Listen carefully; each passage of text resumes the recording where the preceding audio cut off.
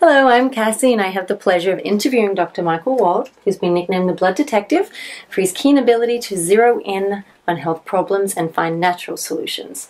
Dr. Wald, you also hold several degrees and certifications, including board certifications in nutrition. Mm-hmm. Uh, we have some questions that people have sent us through via email on today's topic of sleep. It's always a good one. Yep. So, Robin has sent us an email where she describes difficulty sleeping. She would like to know the best herbs or vitamins to take to help with her sleep problem. She's asking particularly about melatonin and tryptophan. Okay, well, I have to admit that I, I don't sleep that much. Uh, that's because uh, I'm thinking about all you people.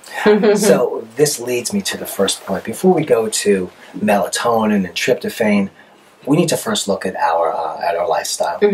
Uh, I think that most of the time sleep issues, or a lot of the time, are really from stress and anxiety, and just we've just set ourselves up for a very stressful existence. Uh, and and unless we manage that, I don't think there's any amount of natural substance that is going to counter. it. And even if we could use a medication or a nutrient to help our sleep, it's always best, I think, to focus on the causes of the sleep Absolutely. problem. Any number of health problems uh, and, and disease conditions have as a side effect sleep issues. So the treatment uh, or remedy for that sleep problem would be to effectively manage that health problem. And there may be specific nutrients and sometimes medications that, when all else fails, you would use for that sleep. Why not just sleep aids? Well, the, the medical sleep aids, many of them are addictive. And uh, once again, they get you into a pattern of dependence. Maybe not in the sense, in every case, of you'll become physiologically dependent on the drug. But of course, if something helps you that's a medication that's not considered a dependent medication, but you want it and it works, you're going to continue to rely on it and ignore the processes. I would think there would also be more side effects. Yes, there are side effects exactly, Cassie, of these medications, and um, the quality of sleep is not the same as naturally induced sleep. So most people watching this video already understand that we want to do these things as naturally as possible. And Robin, who was sent this question, obviously gets that because she's asking about two specific things. So let me let me address those two things right there. Um, melatonin uh, is a hormone, and it has lots of effects, uh, potential effects on the body. And and one of them is the improvement of sleep quality. Melatonin is made mostly at night and then peaks at different times during the sleep process, particularly during the REM three or, or, or stage three REM sleep. So it's made naturally, Yes, naturally occurs in our body. Right, in, in an area of, of the nervous system in the brain, uh, and the um, pineal gland actually that makes melatonin and that induces sleep. So if we're going to use melatonin, Robin, we'd want to take melatonin uh, about a half an hour to an hour before bed, somewhere between three milligrams and six or maybe even nine milligrams. Some people respond to more or less. Now, strangely, in, in my experience, most people that I talk to about melatonin have tried it and it doesn't work. So that doesn't mean it's not going to work on someone else. But I have not found it particularly effective. There are studies that have shown that it can be effective, and there are studies that show that it's not. So these are things that you want to try. Um, I can't think of any uh, reasons not to take melatonin.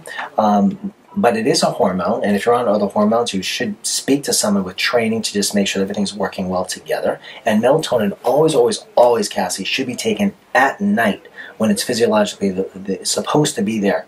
If you, uh, unless you're a day-night worker and you have like switch sleep patterns, then uh, you know you take it differently. But melatonin, if you take it, for example, uh, during the day, I, I was aware of patients that were told by um, clinical nutritionists actually to take melatonin in tiny doses in the morning and to increase towards nighttime, which makes some sense. It's just that that increases the risk of breast cancer. So we do not want to do that. No. So we only want to take it at night. And in fact, melatonin's been studied to be very useful for breast cancer uh, in particular. So when used right, this may sound like a contradiction, but say that again. Melatonin, when used physiologically, taken at night, can uh, help uh, breast cancer, helps uh, kill off cancer cells, and uh, improve sleep quality as well. And without rest and sleep, you can't repair anything. The dose depends on when someone you know gets dose that they respond to. So you might want to start out with. Anywhere from a half a milligram to up to three milligrams, or even even much more than that. And uh, you'd want to stick with that dose. I would say for one week at a time, and then if that doesn't work, perhaps go up. Uh, but I wouldn't go beyond nine milligrams because if it's a sleep a simple sleep issue, it's not working. Then that's just the wrong remedy. And then tryptophan. So tryptophan is an amino acid, which is um, again has many many health benefits. But the way that it might help induce sleep is tryptophan is a precursor. It forms serotonin, and serotonin is a calmative for the nervous system, and that helps induce circadian rhythms mm-hmm. conducive with better sleep. So that could help. The dose there might be anywhere from 200 to maybe six or 800 milligrams.